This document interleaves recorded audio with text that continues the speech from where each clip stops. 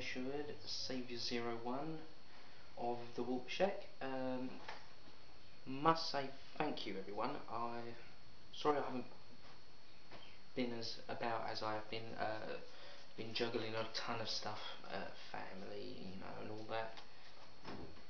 Really sorry. Um, but I went on my thing and I noticed I had 54 subscribers. Now, sorry, I was meant to be doing a video at 50, but it's gone a bit over. So I would like to thank all of you now. So I'm gonna, without no further ado, I'm gonna go through the list and yeah, each one of you, thank you so much for your support. It does mean the world to me when you go on and you see like 52, you know, just go, the, list goes up and up, and it does. It just brings a big old smile to my face. It's my rather miserable face. So anyway, uh, without further ado, I am Blood ex mechanic, Al Bisher, Dead Man's Dude, Darby's Board, Basic Modelling, Chris Hurd 21, Georap, Ashley Kaido, bit of a cheat, that's my girlfriend, uh, who did the battle report with with the Demon Army. So uh, yeah, guys, if anyone wants to say hi to her, that's Ashley Kaido. It's on my subscription list and my friends list.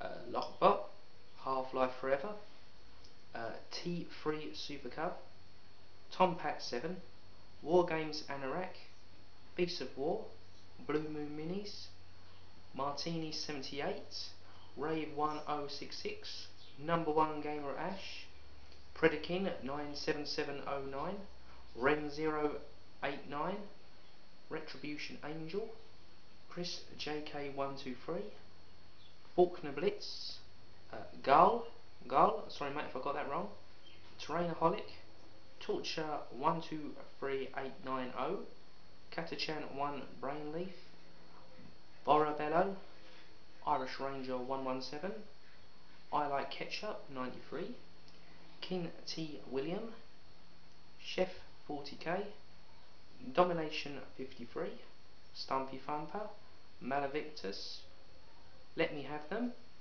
uh, PUJ uh, Pajason, uh, sorry mate, I can't pronounce that, um, M3VOT, Ripper 0518, David Dillabora, or David Dillabo, whatever, sorry mate, again, uh, Mecha 999X, Force Commander 552, 40k Bolter, Sean David R, 12345 Warhammer, Jedi Jim 252, Short on Ammo, Girl Painting, SCM 396, and Reva Hobbies.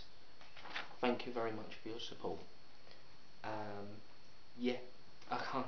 You know, I can keep. You know, you, you people, your comments are brilliant. You know, um, you know, like speechless, speechless. When I've made this video, when I started this channel up, I thought it would be a year before I get to the 50 mark.